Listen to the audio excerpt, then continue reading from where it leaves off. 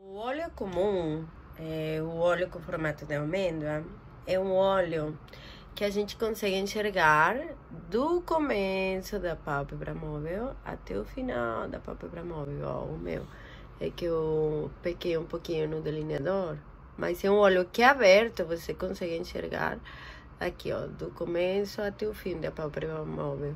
Então, vamos conseguir colocar uma sombra clarinha e ela mesmo assim vai, vai aparecer. Aí depois a gente pode fazer esse delineado preto que eu já fiz, mais fininho, que aí praticamente mostraria muito mais essa pálpebra móvel. É um tipo de óleo que cai bem com quase qualquer tipo de maquiagem, um um preto mesmo, um, um claro escuro, um mais escuro, um, que podemos começar só com cores mais mates e mais amarronçadas, acobreadas, enfim. E ao mesmo tempo podemos brincar com os pontinhos de luz aqui, colocando aqueles mais cintilantes, enfim. O formato de olho amendoado é o mais agradável de ser trabalhado.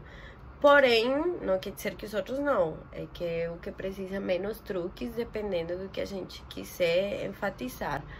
É, o côncavo é marcado mais aqui na parte alta. No meu caso, eu já tenho uma pálpebra um pouco caidinha.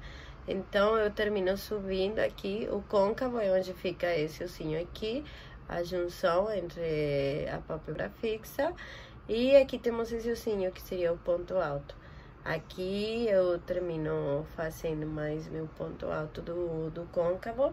E daí vamos esfumaçando internamente, um pouquinho externo, sem ultrapassar nossos limites.